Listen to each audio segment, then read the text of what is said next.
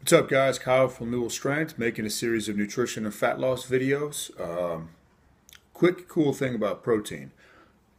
Again, based in biosignature in, in functional medicine, women that can't lose weight a lot of the times are protein deficient. Women do not typically eat enough protein. Okay, the first 30 grams uh, of protein for the day is used for detoxifying your body. Okay, and there's processes that, you know, liver is one of the great detoxifiers of the body. Uh, detox is very important for fat loss. So, and the next 30 grams of the day goes to the immune system.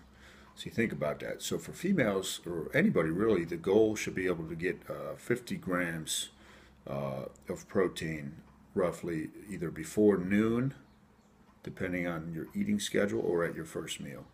So little known fact about protein. You have any questions on that? About food, nutrition, fat loss, please post them below and I'll get to them. Peace.